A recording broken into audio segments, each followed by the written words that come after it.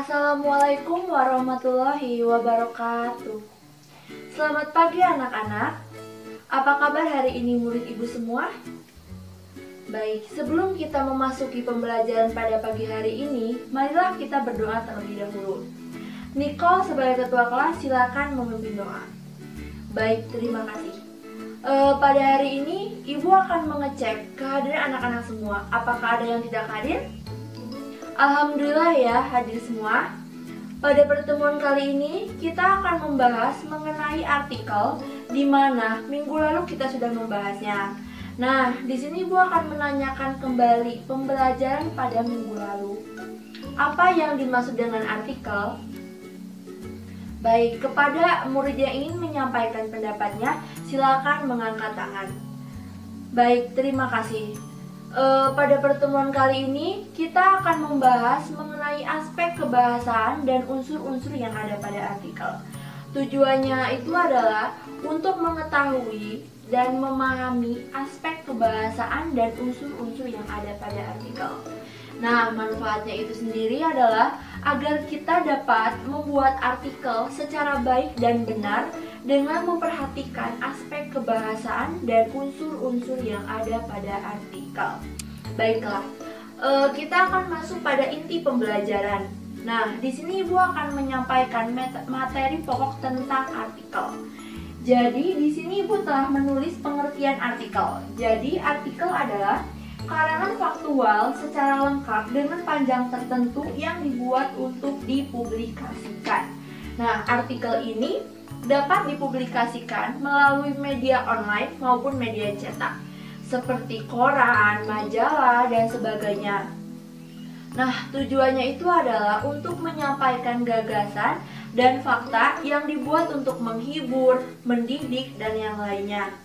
Nah, uh, dalam sebuah artikel juga terdapat aspek kebahasaan dan unsur-unsurnya.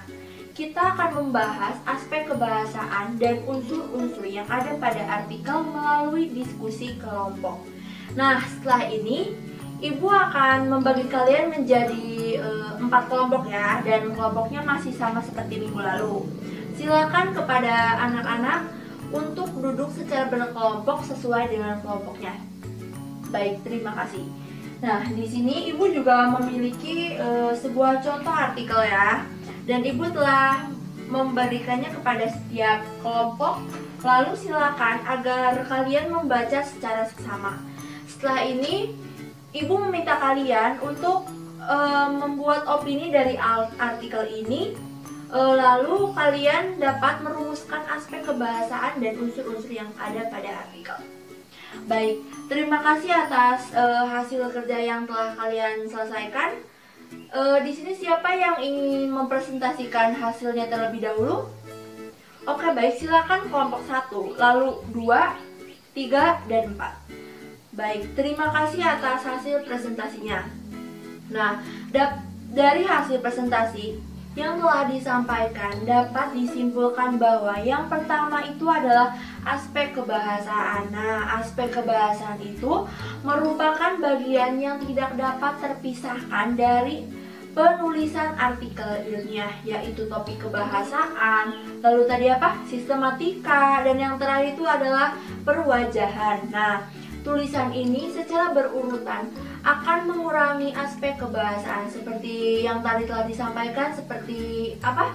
Oh iya, seperti ejaan, bentuk kata, pilihan kata, kalimat maupun paragraf. Nah, yang kedua, yang kedua itu adalah unsur-unsur. Dalam sebuah artikel eh, terdapat beberapa hal yang perlu kita ketahui agar artikel menjadi berkualitas. Nah, Salah satunya itu adalah unsur-unsur yang ada pada artikel itu sendiri. Nah, berikut unsur-unsur yang ada pada artikel. Yang pertama itu adalah judul, yang kedua nama penulis, ketiga kata kunci, e, keempat pendahuluan, kelima pembahasan, keenam e, kesimpulan dan saran, dan yang terakhir itu tadi e, sesuai kelompok 4, ya benar daftar rujukan. Nah, silakan anak-anak untuk membuat rangkumannya secara mandiri. Nah, baik, apakah ada yang ditanyakan? Sepertinya anak ibu sudah paham semua ya.